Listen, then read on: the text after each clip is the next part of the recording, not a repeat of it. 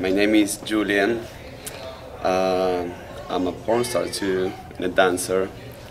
Um, that's how I met uh, with, uh, uh, with Ryan. And uh, he's a nice guy. He just likes to party a little too much. Well, he knew me from a long time and he asked me if I want to audition for, for that. And I said, yes, why not? And that's how I got the part.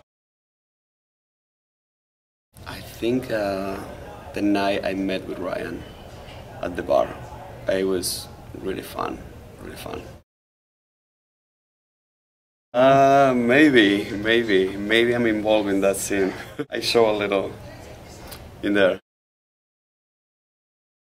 It was uh, him actually, and uh, he's an amazing director, and um, he's an amazing actor too. So I'm like, I'm, I'm, I'm very happy have the opportunity to be in the in this show.